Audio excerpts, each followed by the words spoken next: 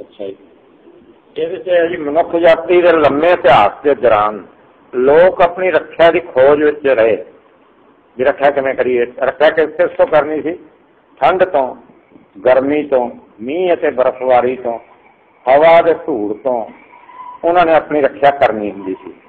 ਹਿੰਸਕ ਜੰਤੂਆਂ ਤੇ ਦੁਸ਼ਮਣਾਂ ਤੋਂ ਰੱਖਿਆ ਕਰਨੀ ਜ਼ਰੂਰੀ ਸੀ। ਅਤੇ ਦੁਸ਼ਮਣਾਂ ਵਿੱਚੋਂ ਸ਼ਾਇਦ ਸਭ ਤੋਂ ਖਤਰਨਾਕ ਦੁਸ਼ਮਣ ਰੋਗਾਂ ਦੇ ਜੀਵਾਣੂਆਂ ਤੇ ਵਿਸ਼ਾਣੂਆਂ ਤੋਂ ਰੱਖਿਆ ਦੇ ਉਪਾਅ ਉਪਾਅ ਜਿਹੜੇ ਉਹ ਅੱਜ ਵੀ ਲੱਭ ਰਹੇ। ਇਹ ਮਤਲਬ ਤਿੰਨ ਸੀ ਨਾ, ਇੱਕ ਤੇ ਜਿਹੜਾ ਮੌਸਮ ਤੋਂ ਜਿਵੇਂ ਠੰਡ, ਗਰਮੀ, ਧੂੜ ਵਗੈਰਾ ਤੋਂ, ਦੂਜੀ ਜੀਵ ਜੰਤੂਆਂ ਤੇ ਆਪਣੇ ਵਰਗੇ ਦੁਸ਼ਮਣਾਂ ਤੋਂ, ਔਰ ਤੀਜੀ ਸੀ ਜਿਹੜੀ ਅਲੱਗ-ਅਲੱਗ ਤਰ੍ਹਾਂ ਦੇ ਰੋਗਾਂ ਦੇ ਜਿਹੜੇ ਜੀਵਾਣੂ, ਵਿਸ਼ਾਣੂ ਜਾਂ ਹੋਰ ਜਿਹੜੇ ਇਹਦੇ ਵਿੱਚ ਚੀਜ਼ਾਂ ਹੁੰਦੀਆਂ ਨੇ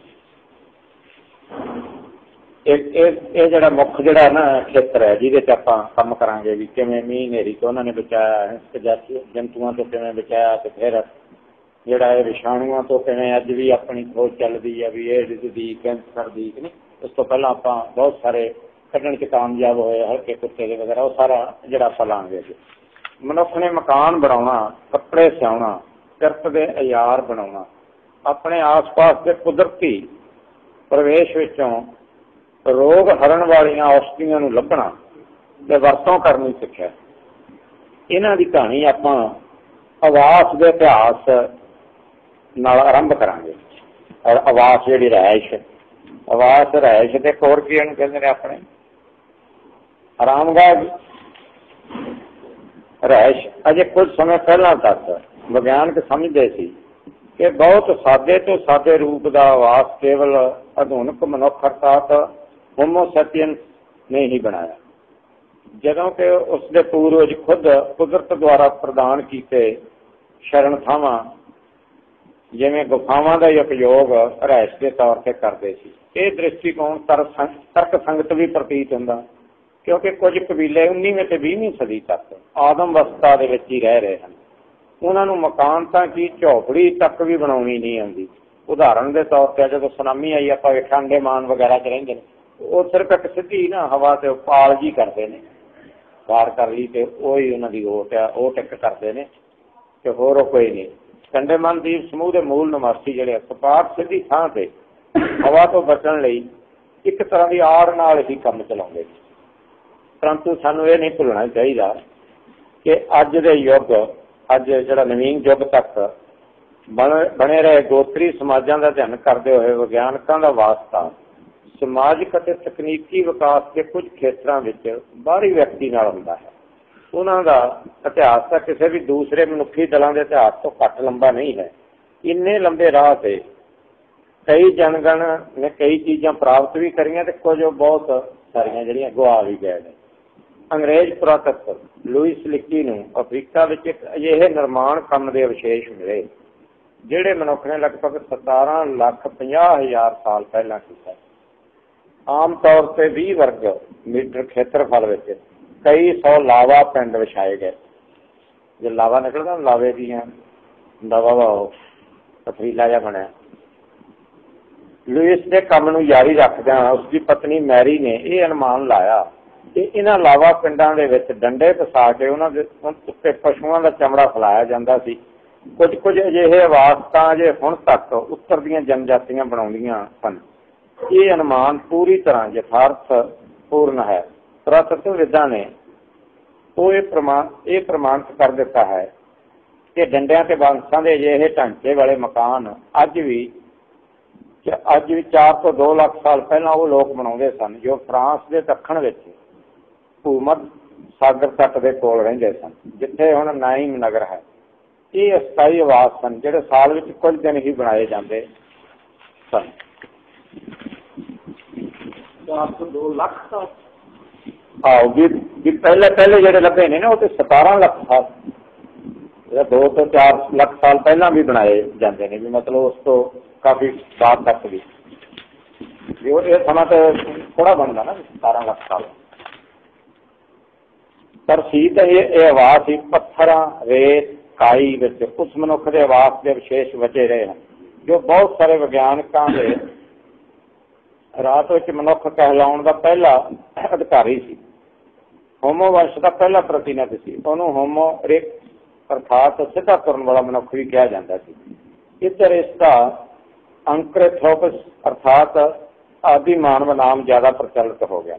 ਉਸ ਦੀਆਂ ਹੱਡੀਆਂ ਕੁਝ ਅਧਿਕ ਮੋਟੀਆਂ ਸਨ, ਮਾਸਪੇਸ਼ੀਆਂ ਪ੍ਰਤੱਖ ਤੌਰ ਤੇ ਅੱਜ ਦੇ ਲੋਕਾਂ ਨਾਲੋਂ ਅਧਿਕ ਸ਼ਕਤੀਸ਼ਾਲੀ ਸਨ। ਉਸ ਦਾ ਹੇਠਲਾ ਜਵਾੜਾ ਖਾਸਾ ਭਾਰੀ ਭਰਕਮ ਸੀ। ਥੋੜੀ ਆਮ ਤੌਰ ਤੇ ਨਹੀਂ ਸੀ। ਅੱਖਾਂ ਦੀਆਂ ਉਤਲੀਆਂ ਹੱਡੀਆਂ ਬਹੁਤ ਅੱਗੇ ਨੂੰ ਵਧੀਆਂ ਹੋਈਆਂ ਸਨ। ਮੱਥਾ ਢਾਲਮਾ ਮਨ ਕੱਟਿਆ ਹੋਇਆ ਹੋਵੇ। ਲੇਕਿਨ ਇਸ ਮੱਥੇ ਦੇ ਪਿੱਛੇ ਉਹ ਦਿਮਾਗ ਕੰਮ ਕਰਨ ਲੱਗਿਆ ਜੋ ਬਹੁਤ ਕੁਝ ਕਰਨ ਦੇ ਸਮਰੱਥ ਸੀ।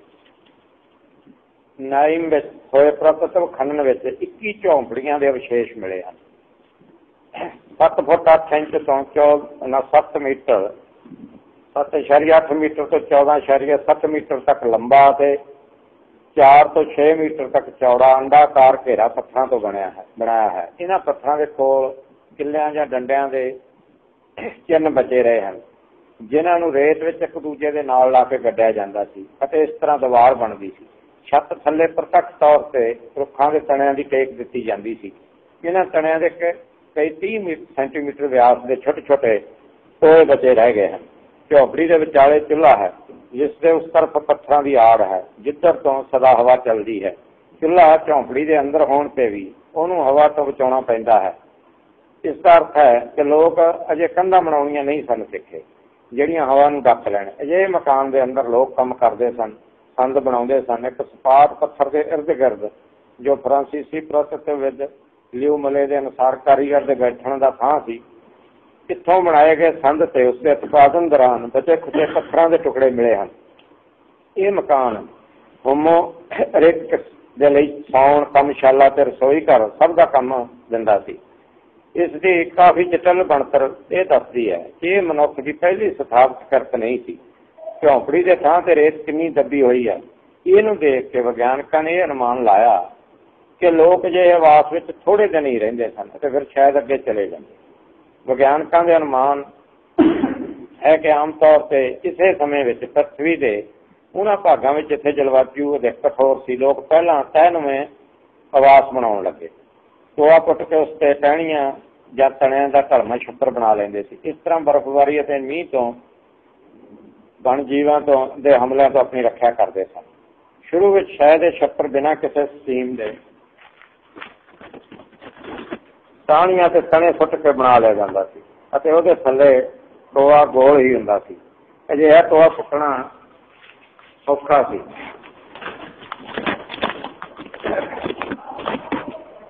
ਅਤੇ ਇਸ ਦੀਆਂ ਦੀਵਾਰਾਂ ਘੱਟ ਡਿੱਗਦੀਆਂ ਸਨ।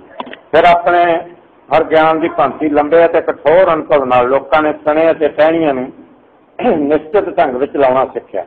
ਟੋਆ ਵੀ ਲੋਕਾਂ ਚਪੋਰ ਬਣਾਉਣ ਲੱਗੇ। ਇਹਨੂੰ ਬਣਾਉਣਾ ਤਾਂ ਕਠਨ ਸੀ। ਪਰ ਇਸ ਵਿੱਚ ਰਹਿਣਾ ਕਿਤੇ ਸੁਵਿਧਾਜਨਕ ਸੀ। ਫਿਰ ਛੱਪਰ ਜ਼ਮੀਨ ਤੋਂ ਉੱਪਰ ਉੱਠ ਗਿਆ, ਝੌਂਪੜੀ ਬਣ ਗਈ ਅਤੇ ਉਹ ਮਕਾਨ ਬਣੇ ਜਿਨ੍ਹਾਂ ਵਿੱਚ ਸਦੂਰ ਅਤੀਤ ਵਿੱਚ ਸਲਾਵ ਅਤੇ ਜਰਮਨ ਲੋਕ ਰਹਿੰਦੇ ਸਨ ਅਤੇ ਕੁਝ ਸਮੇਂ ਪਹਿਲਾਂ ਤੱਕ ਕਾਮ ਚ ਜਦ ਆਦ ਕੁਝ ਜਨਜਾਤੀਆਂ ਜਿਹੇ ਮਕਾਨ ਬਣਾਉਂਦੀਆਂ ਸਨ। ਕਹਿਣ ਖਾਨੇ ਨੁਮਾ ਪਹਿਲੇ ਵਿਸ਼ਾਲ ਮਕਾਨਾਂ ਵਿੱਚ ਆਮ ਤੌਰ ਤੇ ਅਨੇਕ ਪਰਿਵਾਰ ਪੂਰੇ ਦਾ ਪੂਰਾ ਗੋਤਰ ਹੀ ਰਹਿੰਦਾ ਸੀ। ਅਜੇ ਇਹ ਆਵਾਸਾਂ ਵਿੱਚ ਰਹਿਣ ਵਾਲੇ ਕੁਝ ਜਨਗਣ ਤੈ ਦੀਆਂ ਕੰਧਾਂ ਵਿੱਚ ਗਹਿਰੇ ਆਲੇ ਬਣਾ ਲੈਂਦੇ ਸਨ, ਜਿਸ ਵਿੱਚ ਅਲੱਗ-ਅਲੱਗ ਪਰਿਵਾਰ ਰਹਿੰਦੇ ਸਨ। ਅਜੇ ਇਹ ਮਕਾਨ ਵਿੱਚ ਨਾ ਧੂਆਂ ਨਿਕਲਣ ਲਈ ਚਿਮਨੀ ਹੁੰਦੀ ਸੀ, ਨਾ ਖਿੜਕੀ ਛੱਤ ਵਿੱਚ ਬਣੇ ਛੇਕ ਦੇ ਰਸਤੇ ਵਿੱਚ ਵੜਿਆ ਜਾਂਦਾ ਸੀ। ਛੱਤ ਵੱਲੋਂ ਪਿੱਛੋਂ ਜਾ ਕੇ ਪ੍ਰਵੇਸ਼ ਮੁਖ ਤੇ ਓਟ ਲਾਈ ਜਾਣ ਲੱਗੀ ਅਤੇ ਇਸ ਤਰ੍ਹਾਂ ਦਰਵਾਜ਼ਾ ਬਣਿਆ ਅਤੇ ਇਸ ਦੇ ਪਿੱਛੇ ਪਿੱਛੇ ਹੀ ਦਰਵਾਜ਼ੇ ਦੀ ਘੰਟੀ ਵੀ ਬਣਾਈ ਗਈ। ਜੇਕਰ ਆਪਾਂ ਇਹ ਮੰਨ ਲਈਏ ਤਾਂ ਇਸ ਦਾ ਇੱਕ ਉਦਾਹਰਣ ਜਾਵਾ ਦੇ ਅੰਸੌਰਾ ਕਬੀਲੇ ਵਿੱਚ ਲੱਭ ਸਕਦੇ ਹਾਂ। ਉੱਥੇ ਦਰਵਾਜ਼ੇ ਤੇ ਇੱਕ ਛੁਣਕਣਾ ਲਟਕਿਆ ਹੁੰਦਾ ਹੈ। ਪ੍ਰਾਚੀਨ ਜਨਾਨ ਵਿੱਚ ਇਸ ਉਦੇਸ਼ ਲਈ ਵਿਸ਼ੇਸ਼ ਤਰ੍ਹਾਂ ਦੀਆਂ ਥੌੜੀਆਂ ਬਣਾਈਆਂ ਜਾਂਦੀਆਂ ਸਨ, ਜੋ ਪ੍ਰਵੇਸ਼ ਦਵਾਰ ਤੇ ਲਟਕੀ ਹੁੰਦੀ ਸੀ ਜਾਂ ਫਰਸ਼ ਤੇ ਰੱਖੀ ਹੁੰਦੀ ਸੀ। ਇਹਦਾ ਪ੍ਰਚਲਨ ਅੱਜ ਵੀ ਇੰਗਲੈਂਡ ਵਿੱਚ ਹੈ। ਖਿੜਕੀ ਦਾ ਦਰਵਾਜ਼ੇ ਤੋਂ ਹਜ਼ਾਰਾਂ ਸਾਲਾਂ ਬਾਅਦ ਬਣਾਈ ਗਈ। ਕਾਫੀ ਅਰਸੇ ਤੱਕ ਇਹ ਮੰਨਿਆ ਜਾਂਦਾ ਸੀ ਕਿ ਸਭ ਤੋਂ ਪਹਿਲੀ ਖਿੜਕੀ ਦੂਜੀ ਸਦੀ ਈਸਵੀ ਪੂਰਵ ਦੇ ਅੰਤ ਜਾਂ ਪਹਿਲੀ ਸ਼ਤਾਬਦੀ ਈਸਵੀ ਪੂਰਵ ਦੇ ਆਰੰਭ ਵਿੱਚ ਪੱਛਮੀ ਏਸ਼ੀਆ ਵਿੱਚ ਕਿਤੇ ਬਣਾਈ ਗਈ। ਜੇ ਆਪਾਂ ਪ੍ਰਾਚੀਨ ਯੁੱਗ ਦੀ ਸਮੇਰੀ ਬਾਬਲਾਦ ਮਹਾਨ ਸਭਿਅਤਾ ਦੇ ਬਾਰੇ ਕੋਈ ਇਤਿਹਾਸਕ ਕਥਾ ਨਾਵਲ ਪੜੋ ਤਾਂ ਧਿਆਨ ਰੱਖੋ ਕਿ ਉਸ ਕਾਲ ਦੇ ਮਿੱਟੀ ਦੇ ਮਕਾਨਾਂ ਤੇ ਮਹਿਲਾਂ ਵਿੱਚ ਖਿੜਕੀਆਂ ਨਹੀਂ ਹੁੰਦੀਆਂ ਸਨ। ਇਧਰ ਹਾਲ ਹੀ ਵਿੱਚ ਸਾਈਪ੍ਰਸ ਵਿੱਚ ਹੋਈ ਪੁਰਾਤਤਵ ਖੁਦਾਈ ਨਾਲ ਇਸ ਦੇ ਪ੍ਰਮਾਣ ਮਿਲੇ ਹਨ ਕਿ ਖਿੜਕੀ ਦੀ ਖੋਜ ਲੋਕਾਂ ਨੇ ਪੁਰਾਣੇ ਅਨੁਮਾਨਾਂ ਤੋਂ ਬਹੁਤ ਅਧਿਕ ਪਹਿਲਾਂ ਕਰ ਲਈ ਸੀ। ਪਤਾ ਲੱਗਿਆ ਹੈ ਕਿ ਖਿੜਕੀ 8000 ਸਾਲ ਪੁਰਾਣੀ ਹੈ। ਕਿੰਤੂ ਕਾਫੀ ਲੰਮੇ ਸਮੇਂ ਤੱਕ।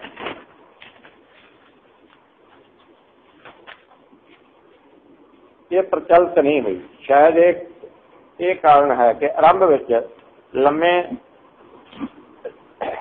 ਅਨੇਕਾਂ ਜਨਗਣਾਂ ਦੇ ਮਕਾਨਾਂ ਵਿੱਚ ਦਰਵਾਜ਼ਾ ਹੀ ਖਿੜਕੀ ਅਤੇ ਧੂਆਂ ਧੂਆਂ ਕੱਢਣ ਦਾ ਦੋਵਾਂ ਦਾ ਕੰਮ ਕਰਦਾ ਰਿਹਾ ਹੈ। ਲੱਗਦਾ ਕਿ ਸ਼ੁਰੂ ਵਿੱਚ ਖਿੜਕੀ ਵੀ ਇਸ ਲਈ ਬਣਾਈ ਗਈ ਸੀ ਕਿ ਧੂਆਂ ਬਾਹਰ ਨਿਕਲ ਜਾਏ। ਇਹ ਐਵੇਂ ਨਹੀਂ ਕਿ ਚੀਨੀ ਭਾਸ਼ਾ ਵਿੱਚ ਖਿੜਕੀ ਲਈ ਜੋ ਚਿੱਤਰ ਹੈ, ਲਿਪਤ ਹੈ, ਉਸ ਵਿੱਚ ਛੇਕ ਦਾ ਚਿੰਨ੍ਹ ਵੀ ਸ਼ਾਮਲ ਹੈ। ਗਰਮ ਦੇਸ਼ਾਂ ਵਿੱਚ ਆਰੰਭ ਵਿੱਚ ਹੀ ਤੈਖਾਨੇ ਨੁਮਾ ਨਹੀਂ, ਬਲਕਿ ਜ਼ਮੀਨ ਤੇ ਹੀ ਬਣਾਏ ਗਏ ਆਵਾਸਾਂ ਦੀ ਪ੍ਰਧਾਨਤਾ ਰਹੀ ਹੈ। ਊਸ਼ਣ ਕਟੀਬੰਧ ਦੀਆਂ ਝੌਂਪੜੀਆਂ ਦਾ ਵੀ ਵਿਗਿਆਨਕਾਂ ਦੇ ਮਤ ਵਿੱਚ ਲੰਮੀ ਵੰਸ਼ਾਵਲੀ ਹੈ, ਜੋ ਉੱਪਰ ਚਰਚਿਤ ਕੌਣ ਭੋਰ ਤੋਂ ਆਰੰਭ ਹੋਈ ਹੈ। ਹੌਲੀ ਹੌਲੀ ਚੁੱਲ੍ਹੇ ਤੇ ਸੌਣ ਵਾਲਾ ਥਾਂ, ਮਕਾਨ ਦੇ ਦੋ ਪ੍ਰਮੁੱਖ ਤੱਤ ਬਣ ਗਏ। ਚੁੱਲ੍ਹਾ ਤੇ ਸੌਣ ਵਾਲਾ ਥਾਂ। ਰਹਿائش ਵਿੱਚ ਜੋ ਸਥਾਨ ਆਪਣੇ ਆਪਣੇ ਕੰਮਾਂ ਵਿੱਚ ਧਿਨ ਸਨ, ਉਹਨਾਂ ਦਾ ਵਿਸ਼ੇਸ਼ੀਕਰਨ ਹੋਣ ਦੇ ਨਾਲ ਨਾਲ ਇੱਕ ਦੂਜੇ ਤੋਂ ਅੱਡੋ ਅੱਡ ਹੋਣ ਲੱਗੇ।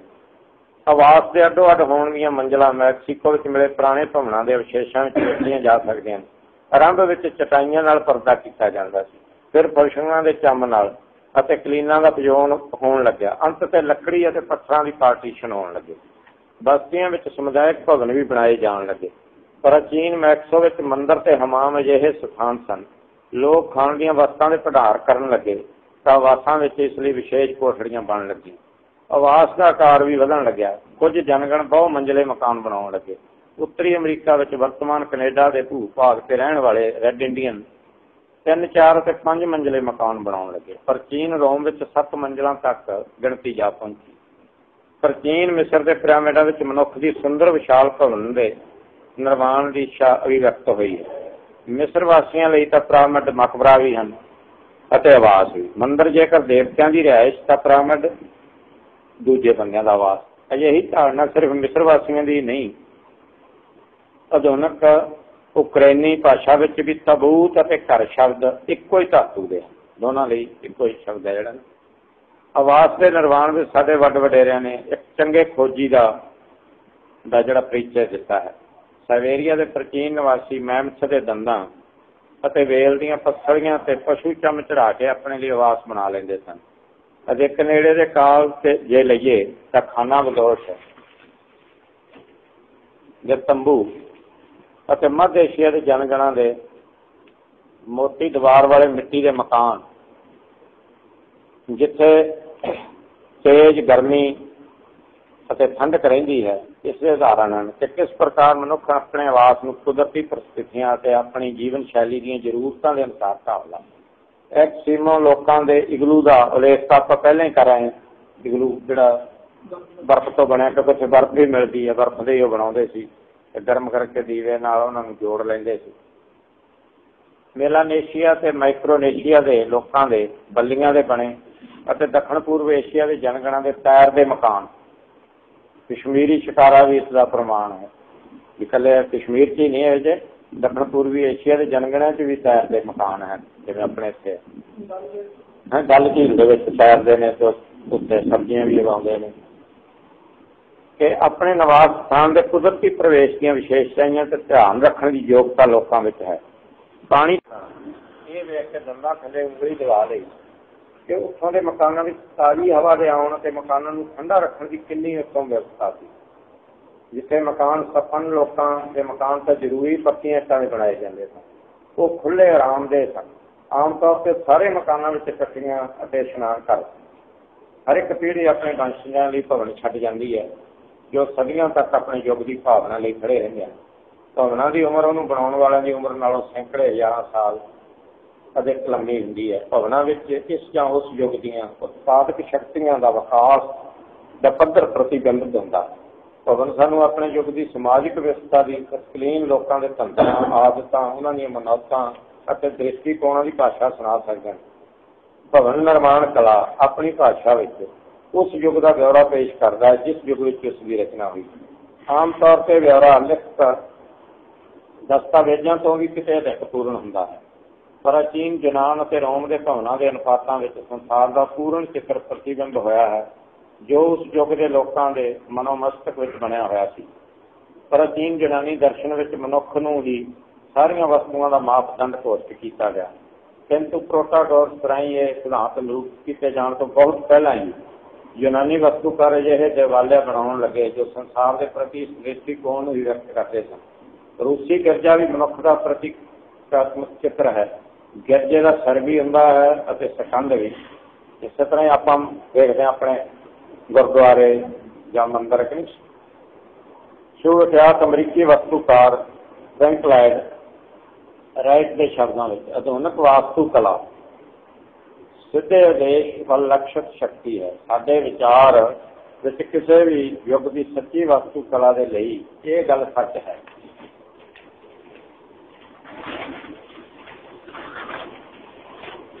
ਪੁਰਾਤਨ ਜਨਾਨੀ ਰੋਮਨ ਭਾਰਤੀ ਰੂਸੀ ਵਾਸਤੂ ਕਲਾ ਦੇ ਅਨਮੋਲ ਰਤਨਾਂ ਨੂੰ ਅਸੀਂ ਕਦੇ ਅੱਖ ਭਰ ਕੇ ਨਹੀਂ ਵੇਖ ਸਕਦੇ। ਵਸਤੂ ਕਰਾਂ ਦੇ ਉੱਤਮ ਭਵਨਾਂ ਦਾ ਵਰਣਨ ਕਰਦੇ ਹੋਏ ਪੰਨਿਆਂ ਦੇ ਪੰਨੇ ਰੰਗੇ ਜਾ ਸਕਦੇ ਹਨ।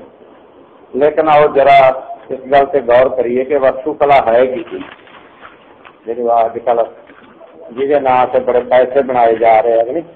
ਵਸਤੂ ਕਲਾ ਇਹ ਹੈ ਕੀ ਚੀਜ਼? ਹੈ ਇਸ ਦਾ, ਇਸ ਦੀ ਸੰਖੇਪ ਪ੍ਰਭਾਸ਼ਾ ਇਹ ਹੋ ਸਕਦੀ ਹੈ ਕਿ ਸਥਾਪਤ ਦਸ ਕਿਸੇ ਸਥਾਪਤ ਜਿਹੜੀ ਆ, ਸਮਾਜ ਦੀ ਤਕਨੀਕੀ ਸੁਭਾਵਨਾਵਾਂ ਤੇ ਸਮਾਜ ਦੇ ਮੈਂਬਰਾਂ ਦੇ ਸੌਂਦਰਯ ਬੋਧ ਦੇ ਅਨੁਰੂਪ ਭਵਨਾਂ ਦਾ ਨਕਸ਼ਾ ਬਣਾਉਣ ਅਤੇ ਉਸ ਦਾ ਨਿਰਮਾਣ ਕਰਨ ਦੀ ਕਲਾ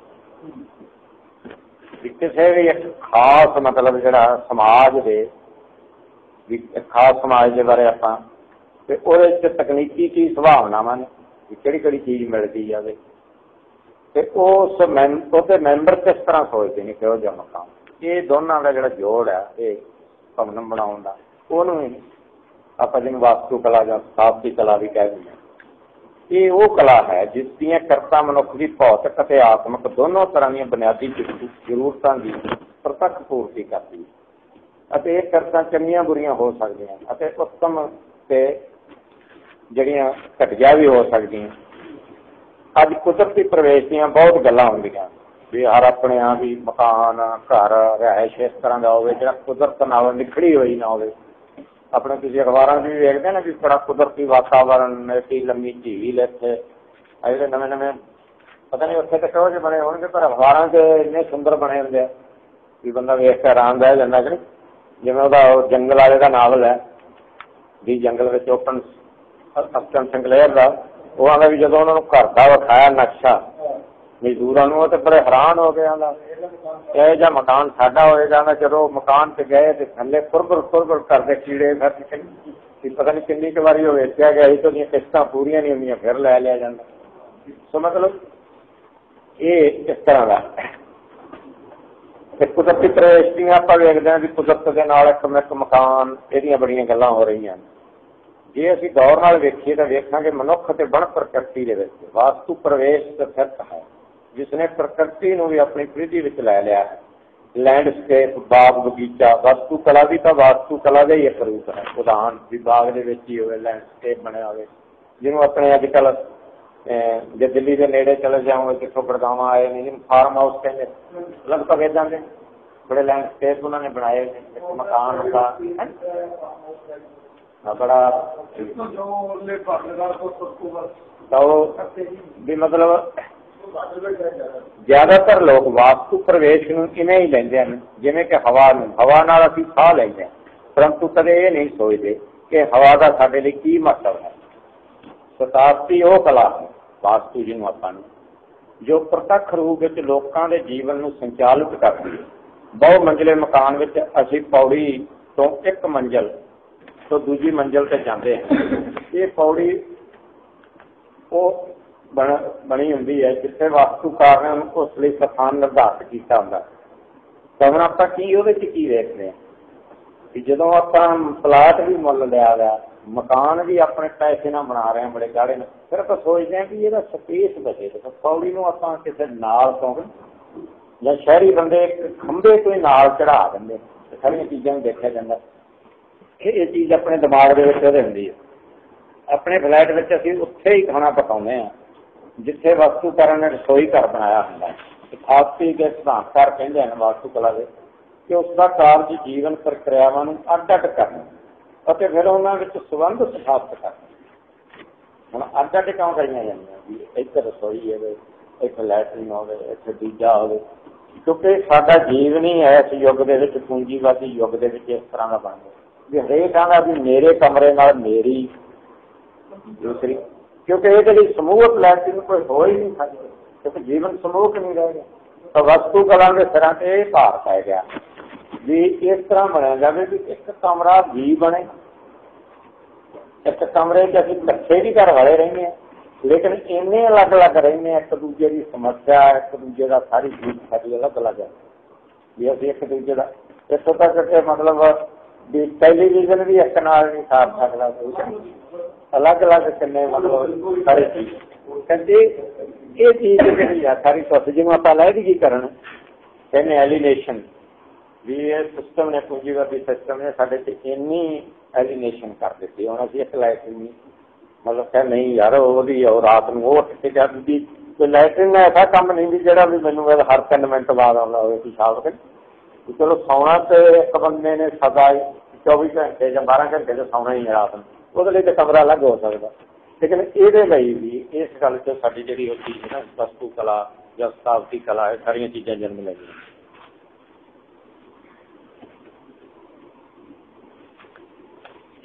ਅੱਛਾ ਸ਼ਤਾਬਤੀ ਦੇ ਸਿਧਾਂਤਕਾਰ ਕਹਿੰਦੇ ਆ ਕਿ ਉਸ ਦਾ ਕਾਰਜ ਜੀਵਨ ਪ੍ਰਕਿਰਿਆਵਾਂ ਨੂੰ ਅੱਡ-ਅੱਡ ਕਰਨਾ ਅਤੇ ਫਿਰ ਉਹਨਾਂ ਵਿੱਚ ਸਤੰਭ, ਸੰਬੰਧ ਜਿਹੜਾ ਸਥਾਪਿਤ ਕਰਨਾ ਹੈ।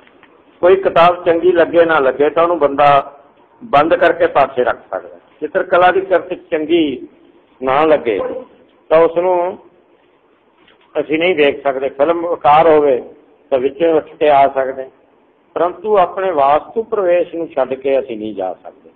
ਉਹ ਸਾਨੂੰ ਪਸੰਦ ਹੋਵੇ ਜਾਂ ਨਾ ਹੋਵੇ, ਮਨੋਵਿਗਿਆਨਕ ਤਾਂ ਇਹ ਵੀ ਕਹਿੰਦੇ ਹਨ ਕਿ ਸਮਕੋਣਕ ਮਕਾਨਾਂ ਵਿੱਚ ਰਹਿਣ ਵਾਲੇ ਲੋਕਾਂ ਦਾ ਵਿਸ਼ਵ ਬੋਧ ਉਹਨਾਂ ਲੋਕਾਂ ਦੇ ਵਿਸ਼ਵਬੋਧ ਨਾਲੋਂ ਘਨ ਹੁੰਦਾ ਜੋ ਪਰੰਪਰਾਗਤ ਰੂਪ ਵਿੱਚ ਗੋਲਾਕਾਰ ਘਰ ਬਣਾਉਂਦੇ ਹਨ। ਕੋਈ ਗੋਲਾਕਾਰ ਘਰ ਕਿਉਂ ਬਣਾਉਂਦਾ? ਸਮਕੋਣ ਕਿਉਂ ਬਣਾਉਂਦਾ ਇਹਦੇ ਵੀ ਮਨੋਵਿਗਿਆਨਕ ਕਾਰਨ ਵਸਤੂਕਾਰਾਂ ਦੇ ਮੋਢਿਆਂ ਉੱਤੇ ਬਹੁਤ ਵੱਡਾ ਭਾਰ ਹੈ। ਉਹਨਾਂ ਨੂੰ ਮਨੁੱਖ ਜਾਤੀ ਦੇ ਪ੍ਰਤੀ ਦਿਨ, ਪ੍ਰਤੀ ਛਣ ਦੇ ਰਹਿਣ ਸਹਿਣ ਦੇ ਸੰਚਾਲਨ ਦਾ ਕੰਮ ਸੌਂਪਿਆ ਗਿਆ ਹੈ। ਵਸਤੂ ਕਲਾ ਨੇ ਸੰਸਾਰ ਦੇ ਨਾਲ ਕੀ ਕੀਤਾ ਹੈ? ਉਸਨੇ ਇਸ ਵਿੱਚ ਆਦਰਸ਼ ਰਖਾਵਾਂ ਦਾ ਸਮਾਵੇਸ਼ ਕੀਤਾ ਹੈ। ਅਮੂਰਤ ਜਾਮਤੀ ਜਿਓਮੈਟਰੀ ਆਕਰਤੀਆਂ ਨੂੰ ਪੱਥਰ, ਕੰਕਰੀਟ ਅਤੇ ਕੱਚ ਦੀਆਂ ਕਰਤੀਆਂ ਵਿੱਚ ਪਰਿਵਰਤਿਤ ਕੀਤਾ ਹੈ। ਪ੍ਰਕਿਰਤੀ ਵਿੱਚ ਕਿਤੇ ਸ਼ਾਇਦ ਕ੍ਰਿਸਟਲ ਨੂੰ ਛੱਡ ਕੇ ਆਪਣੇ ਸ਼ੁੱਧ ਪ੍ਰਾਮਦ ਘਣਜਾਰ ਸਮੰਤਰ ਛਟਪੁੱਜ ਵੇਖਿਆ ਹੈ ਕਿਤੇ?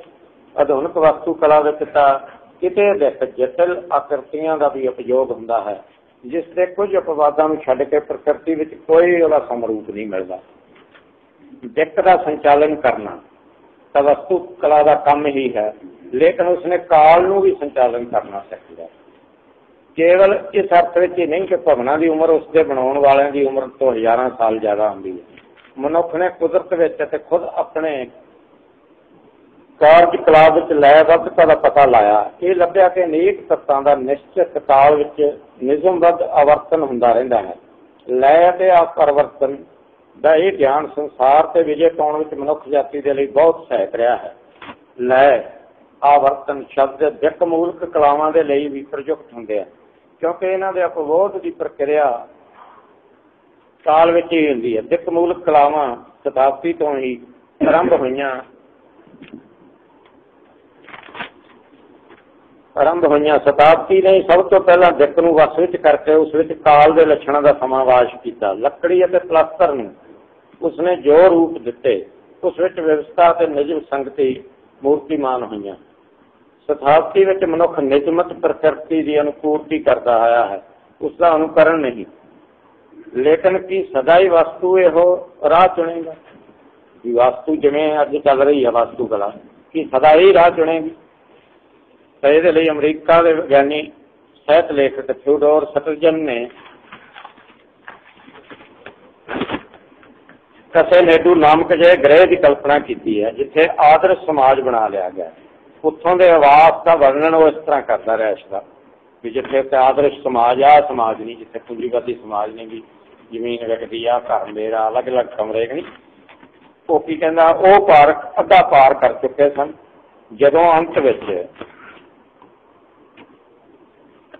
ਜਦੋਂ ਆਮ ਵਿੱਚ ਦਿਲ ਦੀ ਸਮਝ ਵਿੱਚ ਆਇਆ ਕਿ ਇਹ ਉਹਨਾਂ ਜਾਣ ਦੀ ਰਹਿਸ਼ ਹੈ, ਕੋਈ ਦੁਬਾਰਾ ਕੋਈ ਸਮਾਵਾਂ ਨਹੀਂ ਦਿਸ ਰਹੀਆਂ ਸਨ। ਕਿਤੇ ਮਕਾਨ ਉੱਚਾ ਉੱਠ ਜਾਂਦਾ ਹੈ ਅਤੇ ਕਿਤੇ ਦੋ ਕਿਆਰੀਆਂ ਦੇ ਵਿੱਚ ਛੋਟਾ ਜਿਹਾ ਮੈਦਾਨ ਹੀ ਹੈ, ਉੱਥੇ ਕਮਰਾ ਖੁੱਲਾ ਬਰਾਂਡਾ ਬਣ ਜਾਂਦਾ ਹੈ। ਅਤੇ ਇੱਥੇ ਲਾਨ ਹੀ ਕਲੀਨ ਹੈ। ਕਲੀਨ ਨਹੀਂ ਵਿਛਾਏ ਵੀ ਘਾਹ ਦੇ ਜਿਹੜੇ ਲਾਨ ਨੇ, ਉਹ ਹੀ ਕਲੀਨ ਨੇ। ਇਸ ਦੇ ਉੱਪਰ ਤਾਂ ਛੱਤ ਵੀ ਹੈ। ਮਕਾਨ ਕਮਰਿਆਂ ਵਿੱਚ ਇੰਨਾ ਨਹੀਂ ਵੰਡਿਆ ਹੋਇਆ ਜਿੰਨਾ ਕਿ ਖੁੱਲੇ ਵਿਸਥਾਰਾਂ ਵਿੱਚ।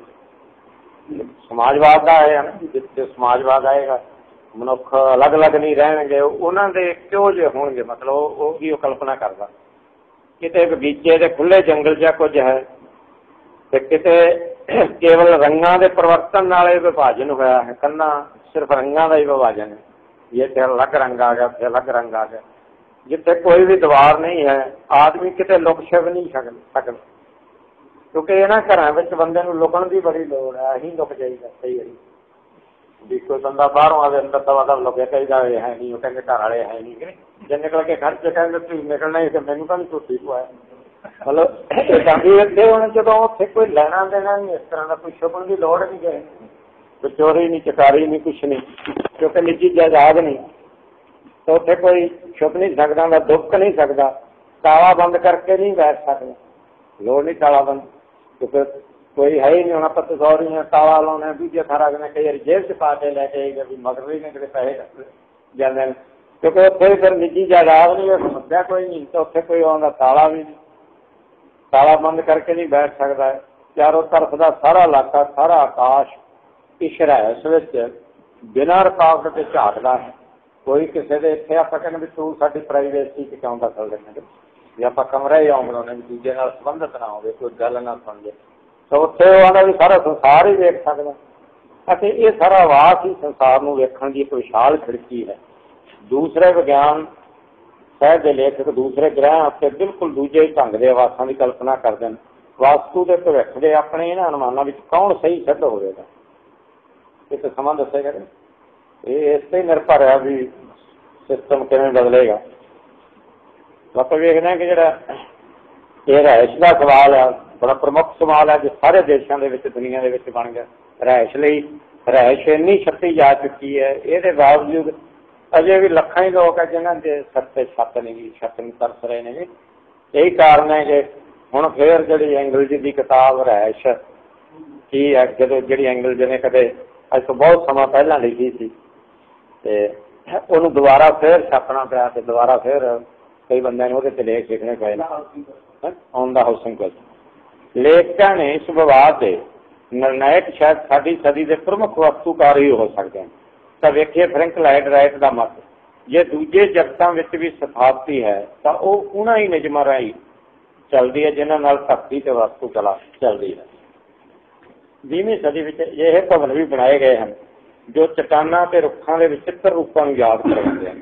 ਇਹ ਭਵਨ ਵੀ ਆਪਣੇ ਢੰਗ ਨਾਲ ਸੁੰਦਰ ਹਨ। ਆਧੁਨਿਕ ਪ੍ਰਵਿਧੀ ਅਤੇ ਨਵੀਂ ਨਿਰਮਾਣ ਸਮੱਗਰੀ ਨੇ ਵਸਤੂ ਕਲਾ ਦੀਆਂ ਸੁਭਾਵਨਾਵਾਂ ਨੂੰ ਬਹੁਤ ਵਿਆਪਕ ਬਣਾਇਆ। ਇਹ ਵੇਖਿਆ ਨਾ ਮਬਤਾਰਾ ਕੁਟੀ ਵਾਲਿਆਂ ਨੇ ਕੀ ਵਿੱਚ ਬਣਾਇਆ ਹੈ ਕਮਕਾਈ ਕਿ ਨਹੀਂ?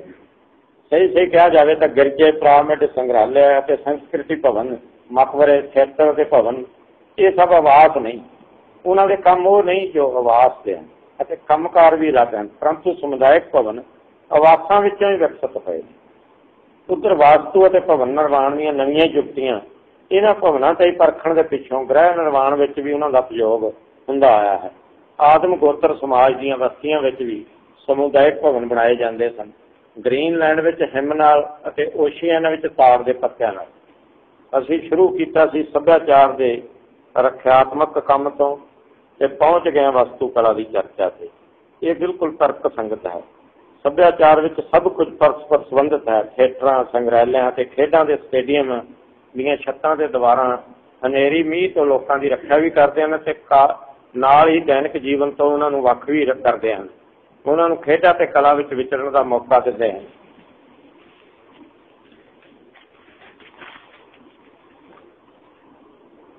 ਜਾਪਾਨ ਵਿੱਚ ਭੁਚਾਲ ਆਮ ਤੌਰ ਤੇ ਆਉਂਦੇ ਹਨ।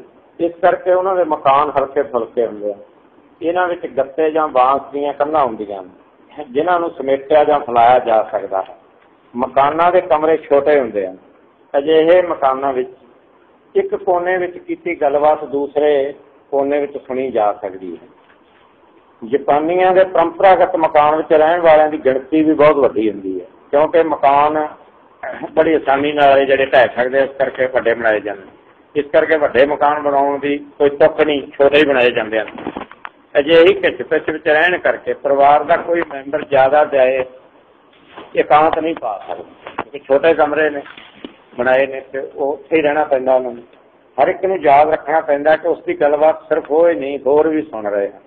ਇਸ ਦਾ ਨਤੀਜਾ ਇਹ ਹੋਇਆ ਕਿ ਜਾਪਾਨ ਵਿੱਚ ਵਿਚਾਰ ਵਿਅਕਤ ਕਰਨ ਦਾ ਇੱਕ ਵਿਸ਼ੇਸ਼ ਢੰਗ ਵਿਕਸਿਤ ਹੋ ਗਿਆ, ਜਿਹਨੂੰ ਜਾਪਾਨੀ ਭਾਸ਼ਾ ਵਿੱਚ ਫਰਾਗੇ ਉਦਰਵਾਰਤਾ ਕਿਹਾ ਜਾਂਦਾ ਹੈ। ਦੂਜੇ ਸ਼ਬਦਾਂ ਵਿੱਚ ਸ਼ਬਦਾਂ ਨੂੰ ਘੁਮਾ ਫਰਾ ਕੇ ਗੱਲ ਕਹਿਣ ਦਾ ਢੰਗ ਪ੍ਰਚਲਿਤ ਹੋ ਗਿਆ।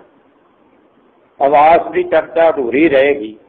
ਜੇ ਅਸੀਂ ਇਹ ਨਹੀਂ ਭੁੱਲ ਜਾਂਦੇ ਕਿ ਸਾਡੇ ਸਮੇਂ ਵਿੱਚ ਬੇਹੱਦ ਛਪਿਆ ਜਾ ਚੁੱਕਾ ਜਦੋਂ ਮਾਲ ਸ਼ਾਪਿੰਗ ਪਿਛਲੇ ਸਮੇਂ ਵਿੱਚ ਸਮਾਨ ਨੂੰ ਦੁਨੀਆ ਭਰ ਦੇ ਵਿੱਚ ਕੀਮਤਾਂ ਚੜੀਆਂ ਨੇ ਤੇ ਅਮਰੀਕਾ, ਦੁਨੀਆ ਹੋਰਾਂ ਦੇ ਵਿੱਚ ਜਦੋਂ ਸਬਪ੍ਰਾਈਮ ਸੰਕਟ ਵੀ ਆਇਆ, ਉਸ ਸਮੇਂ ਵੀ ਅਜੇ ਕਰੋੜਾਂ ਲੋਕ ਰਹਿਸ਼ ਤੋਂ ਮਰਹੂਮ ਨੇ ਤੇ ਇਹ ਉਹਨਾਂ ਨੂੰ ਕਿਵੇਂ ਮਿਲੇ? ਇਹ ਸਾਰਾ ਕੁਝ ਅੱਜ ਦੇ ਮਤਲਬ ਵਰਗ ਜਿਹੜਾ ਆਪਣੇ ਮਜ਼ਦੂਰ ਵਰਗ ਦੀ ਕ੍ਰਾਂਤੀ ਤੇ ਨਿਰਭਰ ਕਰਦਾ ਹੈ। ਜਿਸ ਤਰ੍ਹਾਂ ਐਂਗਲ ਜੀ ਨੇ ਵੀ ਆਪਣੀ ਰਾਏ ਤੇ ਦੇਵਨ ਦਾ ਹਾਊਸਿੰਗ ਕੁਐਸਚਨ ਚ ਕਿਹਾ ਸੀ। ਧੰਨਵਾਦ।